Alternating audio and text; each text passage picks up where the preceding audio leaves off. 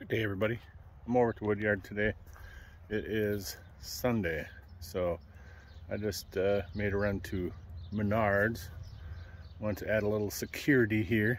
So I bought one of these heavy duty, I think it's 3 8 cable and some locks that are keyed alike and uh, have cabled the log splitter to this of firewood.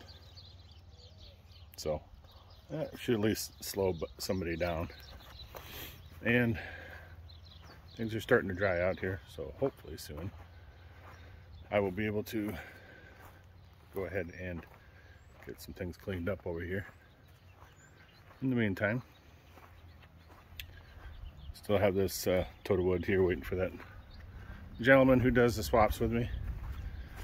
But I have one of these Tow Smarts on the pickup box trailer just to keep you from walking away.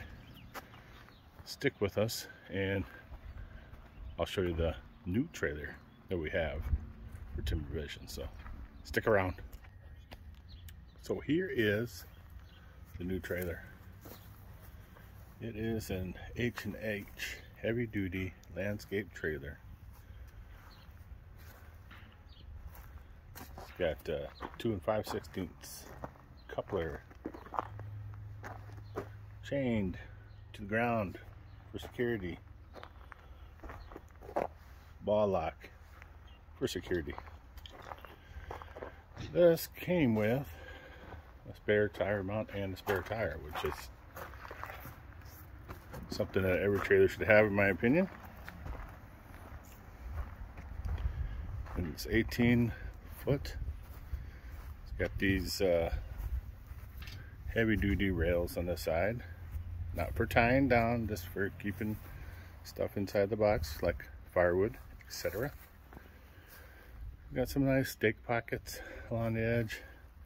Two 5,200 pound axles with greasable bearings from the outside. And then this was one of the keys I was interested in. Heavy duty gate slash ramp with the ladder style angles in there for extra support for loading and unloading of the tractor with its implements on it. So pull a pin on each side like that. Spring assisted. Uh, you can see those from here. Uh, but there are two springs down here in the bottom to assist in the lifting. Basically relaxed, it's in the upright position. Then as it goes down, it puts tension on the spring. So then it gives you an assist for lifting it back up. LED lights all the way around. Some nice, uh, they're kind of set back in a channel there so they are less easy to you know break reflectors on the side. And I got this from Zach Sales and Service in Sherburne Minnesota. So I'll give you a little view of this if you wanted to take a gander at her. But basically um, 5,200 pounds is what I can put upon this trailer so that the trailer is heavy. Obviously, big steel trailer. But 5,200 should give me plenty of payload capacity what I'm going to do, which would be firewood, the little tractor, and implements on that tractor with 18 foot so I could put additional attachments up front and still fit the tractor on there um, and possibly throw some stuff in the back um, so I figure I should have at least an extra four to six foot